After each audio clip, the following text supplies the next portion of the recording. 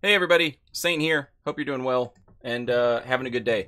And today I wanted to talk a little bit about uh, Dark Souls 3 Poise is turned off. Wow, did you guys know that? Did you guys know that Dark Souls 3 Poise is just turned off? There's no poise in Dark Souls 3. Oh, what's that?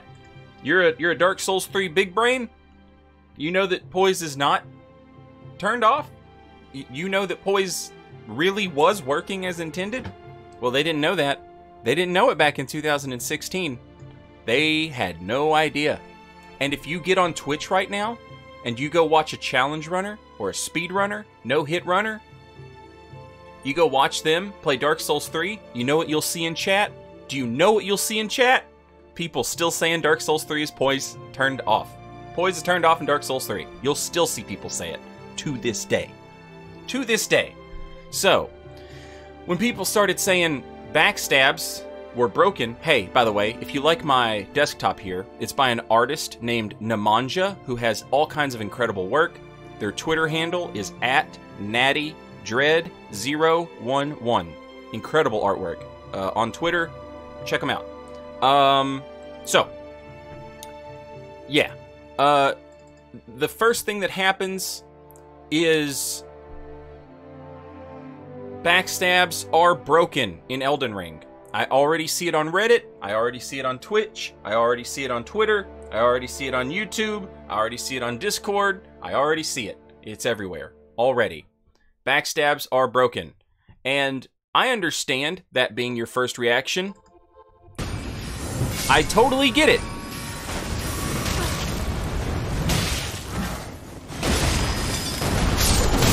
Fucking A.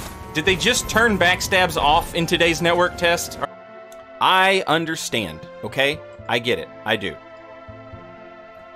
Your first reaction, probably a lot like mine. What in the hell is going on? But rather than jump to conclusions and start making a bunch of YouTube videos about how backstabs are broken and they don't work and they're turned off in the network test, I instead decided to look through my footage and see if I could make sense of what was happening. So that's what's going to happen. First and foremost, let me say I am not worried about this at all. One, because the Dark Souls community and the PvP community uh, at that is full of terrible ideas, awful ideas.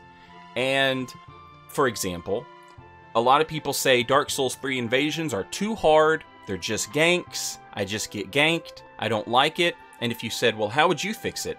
You'll hear solutions like phantoms should be able to hit each other. That's a bad idea. Why is it a bad idea? I want you now to imagine a world where that happened and you get on YouTube and your YouTube is bombarded with videos that are like, this guy summoned me, but instead I hit him a bunch. Okay? And you say, well, what if they just gave him friendly fire, but it didn't do damage, it just staggered him? What if it just staggered him? Like Monster Hunter, Saint, what if that happened?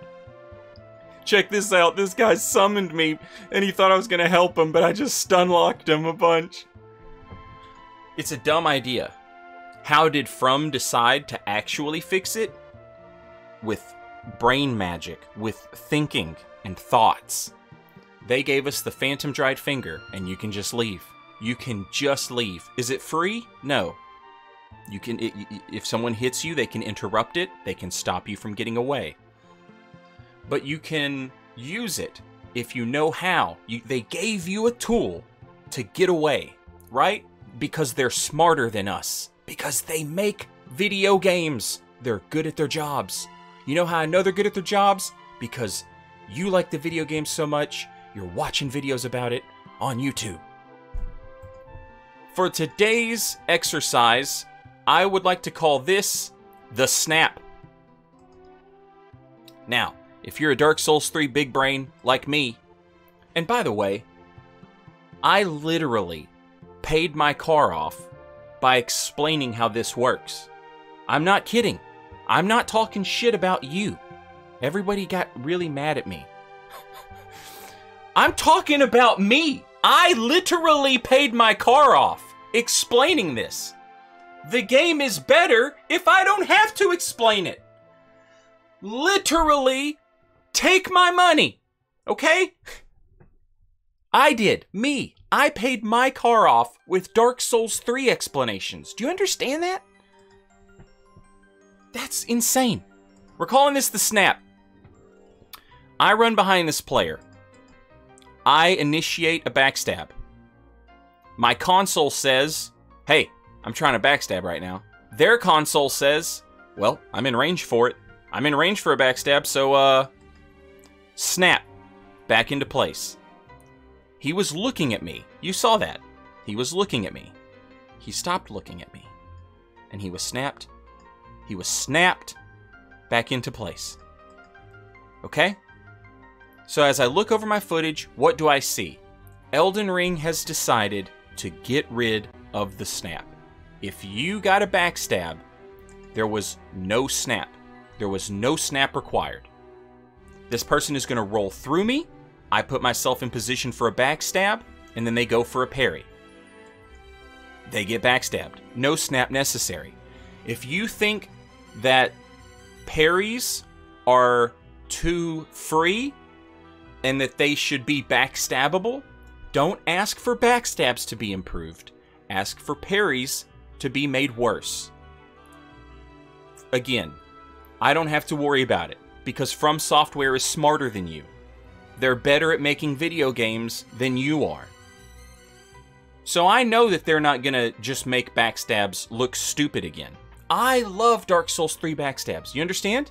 I like them. You've uh, hopefully you've watched like and subscribe to my videos about Dark Souls 3 backstabs cuz I made them. I like them. But you know what? If I want Dark Souls 3 backstabs, I can still play Dark Souls 3. Elden Ring is different. It's time for something different.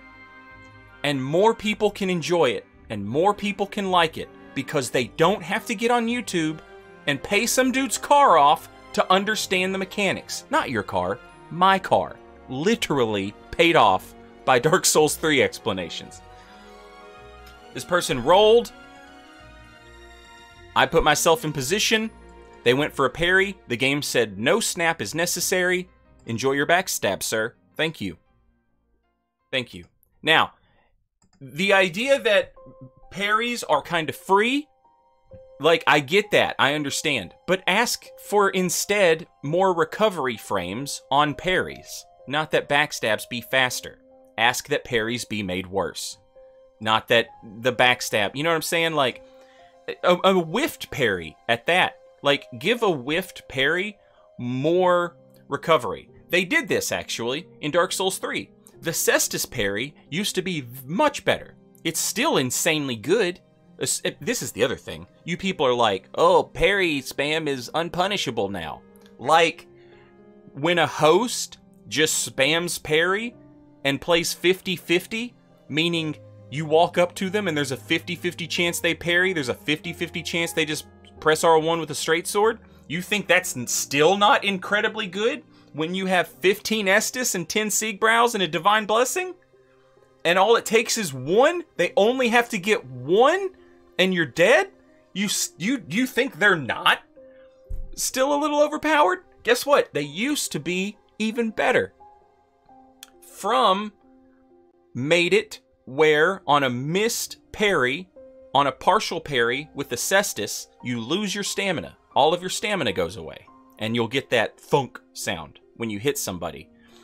It it it could still be better. They could still increase that and make it on any whiffed parry. The set, you know what I'm saying? Like they could make parries worse, and it wouldn't hurt my feelings at all. Anyway, it doesn't matter. The point is, I know everybody's yelling about backstabs and uh, parries are free, parries are free, parries are free. Again, here's another thing to keep in mind: you have not seen anything of this game. You've seen one percent of this game how much damage will power stanced, unparryable weapon art paired ultra great swords do? Somebody goes for a parry and you hit him with that. The curved sword weapon art, unparryable, true combos. Uh, there's there's things we haven't seen. You understand? You saw 1% of this game and you're willing to be like, nope, parries are the best. People are just going to spam them. They're unpunishable. I'm a big brain. I'm smart. I know things. No, you don't. You've seen a shadow, a glimmer of this game in a dream. what happens here? My dumbass casts a spell, no snap is required, and I get backstabbed. No snap required, enjoy your backstab.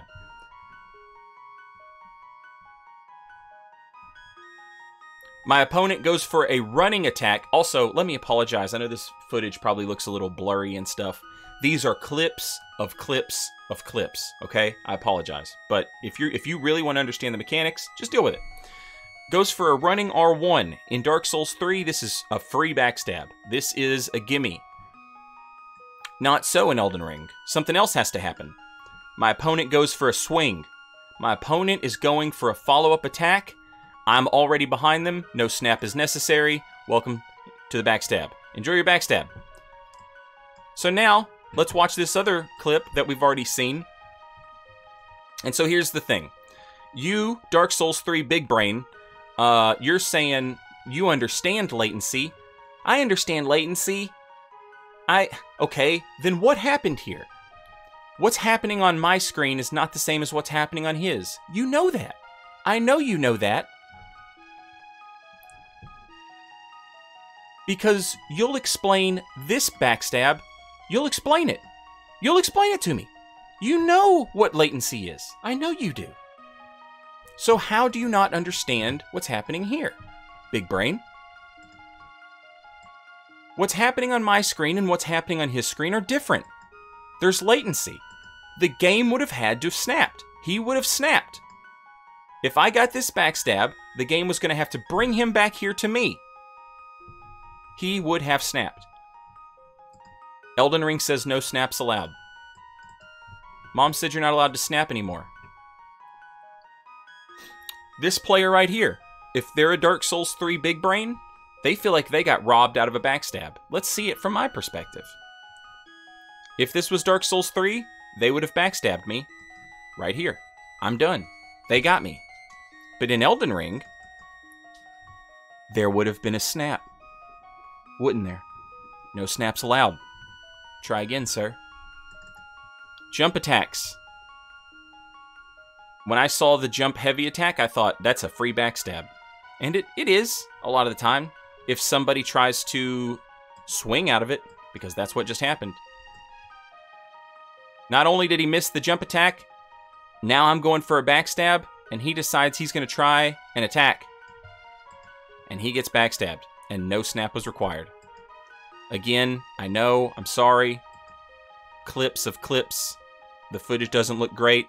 But I promise you, he's going for an attack. He's going for a follow-up swing. And instead he gets backstabbed. That's uh, Elden Ring. No snaps allowed. That's what they did. That's what they changed. And uh, if you want to complain about it, if you don't like it, I get it. I get that. But don't tell me it's broken, and don't tell other people it's broken, because we'll be reading about how poise is turned off for another five years. Don't be stupid. Don't be foolish. I'm begging you. If you don't like it and you want it changed, I understand. I understand. Again, you can always just play Dark Souls 3, where it is the way you like. But we don't know how the mechanic will change between here and there. If they do change it, I'm sure they'll have better ideas than we do. And uh, again, anything that makes it easier to understand for the regular player is uh, better for the game. They shouldn't have to get on YouTube to figure it out. They shouldn't have to pay off my car, not your car, my car, to figure out these mechanics. They should they should be clear and concise and on the screen. And the game will be better for it. Thanks for watching my video. If you want to help me pay off another car, like and subscribe. I appreciate you watching. Later, y'all.